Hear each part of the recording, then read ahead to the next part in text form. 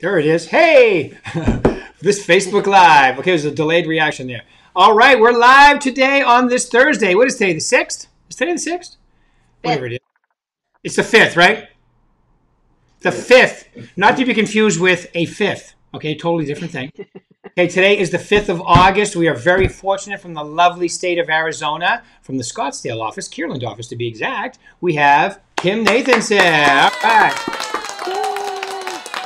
Well, you know, Kim, I was thinking, you know, because the last few years you've been producing extremely well. I was thinking about like about three years ago, maybe three and a half years ago, that conversation we had. Do you remember that conversation? You just started my coaching. Isn't life a little different now than it was back then? Just a, just a little. Yeah, right. you were, you know, you you you got to that. Conf- you got to that. That's why this is such a great. It's a great time to have you on here. You were in that frustrated part where you know you were almost like, you know, is this is this really what I want to do? And and all of a sudden you got into the right actions, and boom, your real estate career has really take, taken off, hasn't it? It has. It has, and I'm still. I love it. Absolutely love it. Tell us a little about just because you know I coach a lot of people in the company, and I know there's a lot of people that are at the frustration phase. But give me an idea of the frustration phase, and then now this phase, and how that journey is definitely worth it. I think that'd be huge for them to hear. Well, you know, everybody gets into real estate, and um, it they think it's easy. They think you know the business is just going to fall in your lap. You're just going to start selling houses, you know, right off the bat um, and you think you know everything and you don't. Um, and it takes time to build up your sphere of influence. It takes time to build up your pipeline. And um, you know, I, I first started out as a transaction coordinator. I when I first started, I, I worked for somebody, figuring you know I'd learn the contract and how to you know do the systems in our office and everything. And um, unfortunately, the person that I worked under fortunately or unfortunately, however way you look at it, the person that I worked under um, wasn't really doing good or the things well. And so I learned what not to do very quickly. Um, and then, you know, I got into coaching and, you know, I had a great year. And then, you know, personal things happened in my life. Um, and then I, you know, fell back down.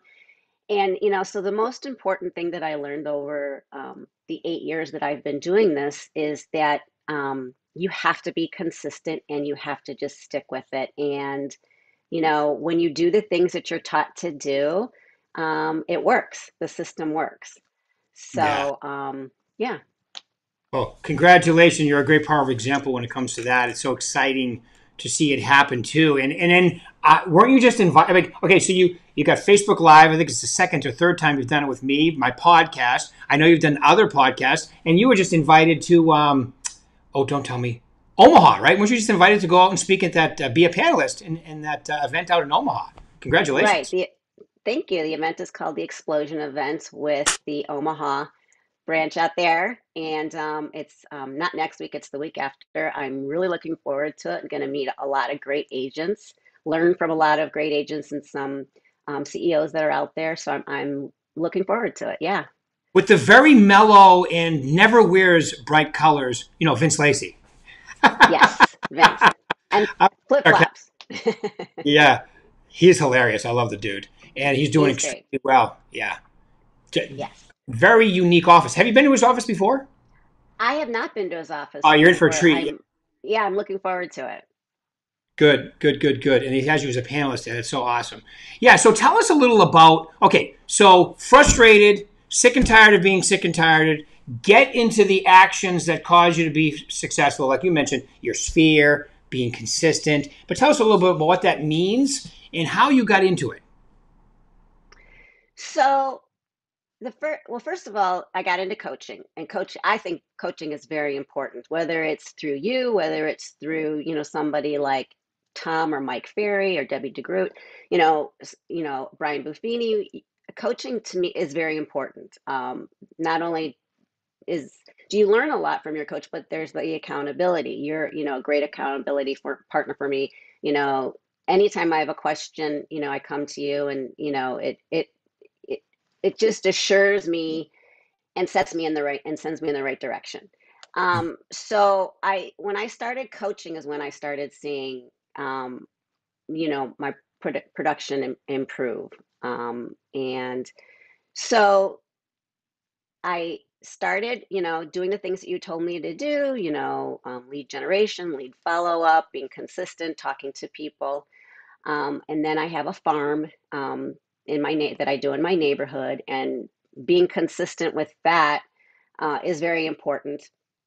I started it out with another agent who lived in the community, and then unfortunately she moved out, but we we still continued to do it together. And you know, in the beginning, we'd have dribs and drabs of you know a house here, a house there. But last year, we sold seven houses. We did community events. We gave back to the community. Um, we do uh, quarterly book, you know, flyers that are um, printed very nicely. They, they're luxurious looking. Um, you know, so that was a big part of my business last year was from my my geographical farm. Uh, I also my most of my business is is referral based. I'd say about 90% of my business is referral based. So, you know, keeping in contact with my past clients, um, you know, you know, drip doing my drip system. I I probably talk to my past clients more than the average of four times a year. Hmm. Um, I I'm very, you know, connected with my clients. You know, I do the birthdays, I do the home anniversaries. Um, I'll just pick up the phone and call them, especially now it's the beginning of a new school year when their kids are starting to go back to school, you know, asking them how was the first day of, you know, Johnny's um, first grade yesterday, or, you know, just picking up, get, you know, and talking to people is a big thing. I'm a golfer, so I um, I have my golf bag is monogrammed to Berkshire Hathaway and my name and my website on it, and I go out to the golf course and I stick it out there. So it, to me, it's just getting out and meeting people, talking to people, making those connections. Because the more people you talk to, the more opportunities you have to meet people and um, get business. I love it. I love it. Yeah, and I'm I'm noticing a book on behind your shoulder over there. It looks like a very familiar book. Is that great? I'm glad. That I'm that is your book. glad you proudly display that. Thank you very much. That's the first edition too. We've changed the cover now. That is the first edition, and it, it is a great book. And you know, sometimes I go back and reread it and read sections out of it, and you know, yeah, Awesome. Well, And I totally agree with you. Like what you talked about coaching. Now, fortunately for us here at Berkshire Hathaway, well, for, I hope fortunately for most of the agents that they get me for free. Mr. Mark Stark has paid me to be, you know, the company coach, which is I love it. I love the agents, all the agents in all the different markets. But you're right.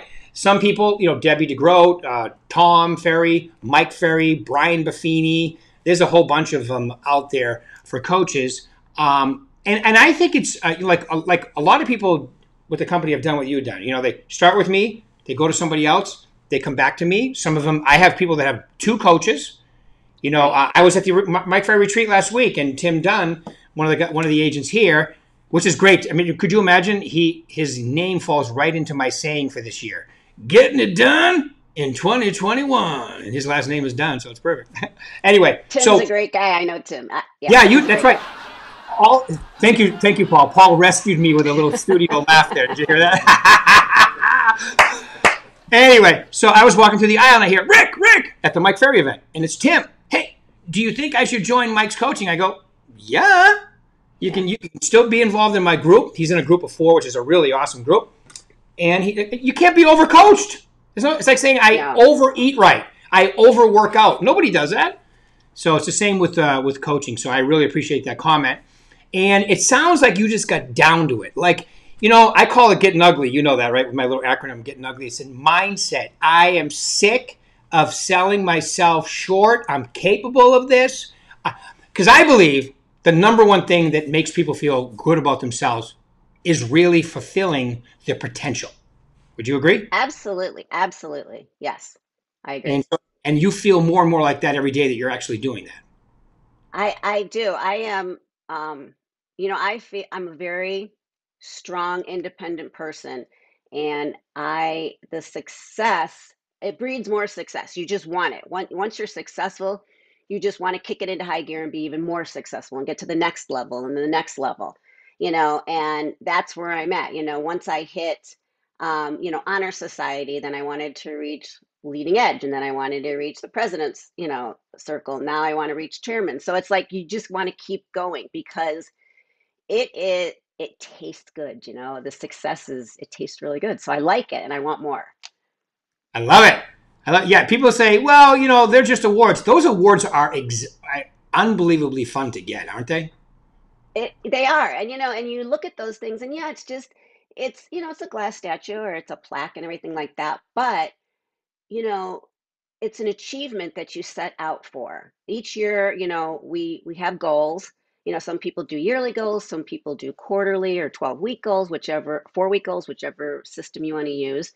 And you you set out for those goals. And when you reach those goals, it is just such a great feeling. Uh, Mm. for me, I can speak for myself. I'm sure other people too, but I love it and it just makes me, you know, want to go to that next level. And I'm at, I'm at that right now. I just want to go to that next level. Well, it, it, it'd be kind of like telling, you know, uh, an Olympic athlete, it's only a medal, right? But the medal represents, just like your award, represents all the work you had to do before to receive it. So when you look at it, I know when I used to look at my awards, I'd be like, you think about all the work that you did to get that award. They, they don't just give those away. Right. No, it, and it's a lot of work. And this job is not an easy job. You know, I consider myself a concierge agent. So I don't just, you know, take a buyer out, write up a contract, wait for the closing, here's the keys, goodbye. Or, you know, put a home on the market, put a sign in the front yard, wait for the calls, you know, have a buyer come in, write up the contract, wait for the closing, goodbye. There is so much more to it, and a and a good agent Mm. does goes above and beyond, you know. Wait a minute. You, Um, you forgot and have somebody else drive you around in the back of the limo, right? Like, you know, one of those non-reality shows. Right, right. I was just telling you before we started that it's hot here in Arizona. It was Right. 110 degrees yesterday. I um I staged a home for another agent um in our office, and the house went under contract right away. So I went and got that those staging items because I have a, a new listing, and so I went picked up those staging items, loaded up my car, went to another house, unloaded the car, staged the house in 110 degree weather, and I was just dripping in sweat. But you know what? It's a good kind of sweat. Exactly. Can't you get that uh, that uh, six nine uh, gigantic son of yours to help you out? Is he around? That that kid that's uh, sleeping in the other room, no. Oh, oh, so uh, so so it continues well into their twenties. My seventeen year old, yeah, same way. Well, Yeah. he just took the bar exam, the California bar exam, so he's waiting for his results and waiting for his job interview. So, you know. Wow, that's so. Congratulations, yeah, yeah. That's so. That's so. No, and I agree. You know, so that's a, that's a good kind of sweat. It's a work you feel like you you know you've really got stuff done. Speaking of, you know, uh, rumor has it that you've done a lot of new construction lately too. Is that correct? I have. You could have, I, even be know, s- a specialist in new construction. I actually am a certified new home specialist. Yes, I have that desi I have that designation. I have actually sold 16 new builds. Mm. So In the I've last represented year. In the in the last well in the last two years i believe it was 15 and then i sold a new build a new townhome i believe it was in 18 17 Okay. 18 that was my first one. And so um you know i i represent the buyers that go and they purchase you know new homes that are new builds. They it's all with you know um communities either toll brothers shea um taylor morrison pulte all of those um builders um, and so I have an investor that has purchased six of them, and then we turn around and rent them. And those are DR Horton homes, which are another, which is another great one. And they're the ones here that allow people to come into the community, investors buy homes and then rent them. So most communities don't allow that. Um, so, you know, from the beginning when we go in to purchase a home throughout the entire process, uh, you know, pre-dry, you know, pre-wall, um, pre-drywall walkthroughs. Uh, I go to the design centers with them if they need, you know, help with that. You know, some people have built homes before and they don't necessarily need me to sit there with them for, you know, five and a half, six hours while they, per, you know, pick out everything for their home.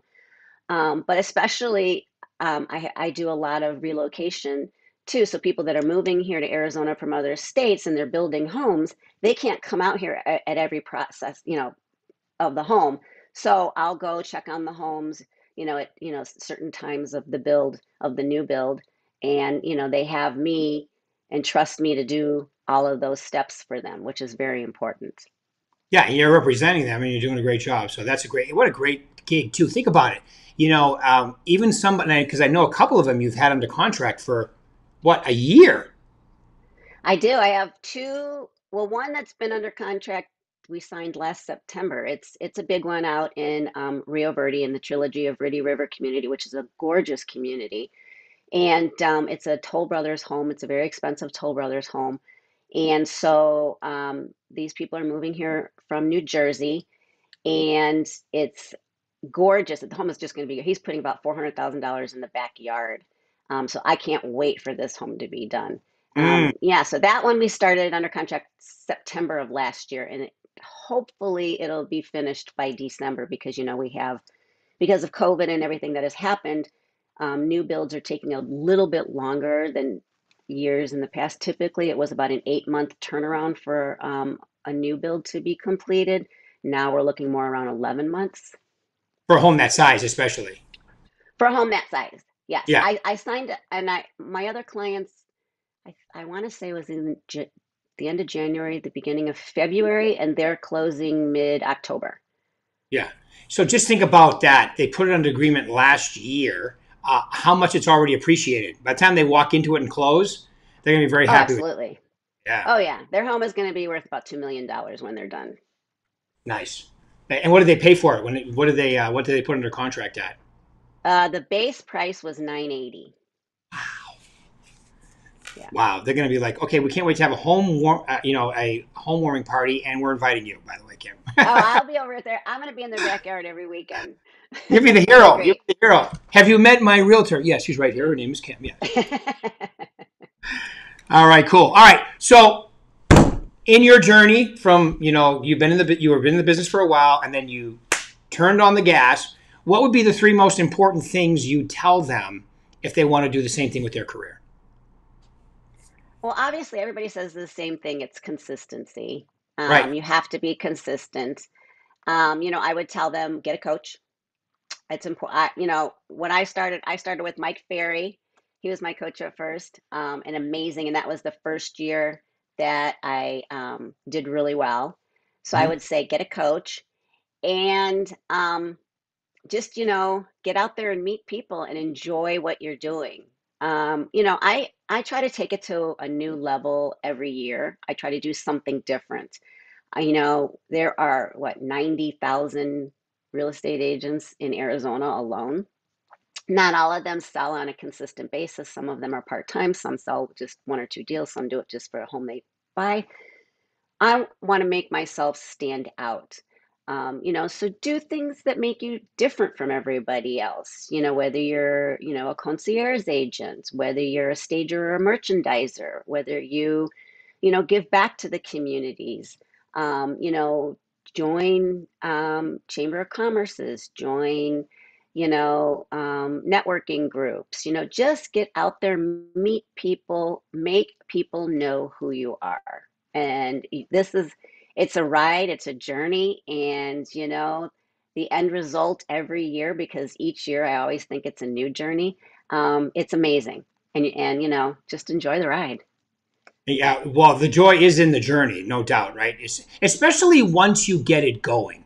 When you see oh, absolutely right? When you're seeing results from the work you're doing and it's happening, it makes the journey so much better. It's that first, I call it the introduction period, you know, where you're doing it and you feel like you're getting beat up and then, oh my God, is this going to work for me? If I could tell you, if I could, if I had a dollar for any, every time somebody said to me, is this going to work for me? Am I different? Uh, I'd be long retired. But no, it does work for everybody who's consistent. You said the key words and it isn't boring that that's, it's true. You have to be consistent. It's like your, you know, and I know that you have your uh, Peloton addiction, which is a good one, right? Peloton. I did. And you have your virtual coach. You have that person at the beginning at the class, right? It's like a spinning Absolutely. class driving you. It wouldn't be the same without that person there, right? So the coaching is critically important. And as my line goes here at Berkshire Hathaway, if I'm free, how bad could I possibly be, right? And no, I but- would say I would say work through the frustrations. Right. because you're gonna have frustrations. You are gonna be up and down and zigs and zags, and you know. Um, I loved roller the roller coaster when I was a kid. I don't like it so much as an as, as an adult, but I'll get on it. You know, if my kids go, we go to a, a an amusement park, and my kids are like, "Mom, get on the roller coaster." I'm like, "Oh my gosh, okay." It makes me kind of ill. You know, I really don't like it as much as I did when I was younger, but I'll still get on it and I'll take it for a ride. But so work through the frustrations, work through the ride, and you know, and don't give up. That's my Mhm. biggest thing. Yeah, reminds me when, when I first moved to Vegas, my two oldest came to visit me, and they were a lot younger then. And you know this roller coaster at the top of the MGM, you know Mhm. that crazy one. One of my sons couldn't wait to go. The other one's like, I'm not sure, I'm not sure. So this is the question I asked the guy who was selling the tickets there. I go, Has anybody ever died on this roller coaster?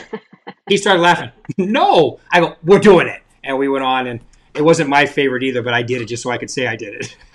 Right. And then after you do it, you feel great. You're like, all right, it's the same thing every day when you prospect and you do your job. There's ups, there's downs, there's in betweens, but if you're consistent, like you just said, um, you're really happy and you really feel it's a whole different level of feeling great about yourself when you've worked your butt off to get there. Great thing about real estate is it just requires your time. It Right? does. You don't have It to does. spend you know.